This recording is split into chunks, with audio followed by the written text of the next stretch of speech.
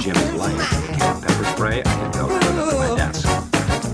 People say, oh, it's dangerous to keep weapons at home or the workplace. Well, I say, it's better to be hurt by someone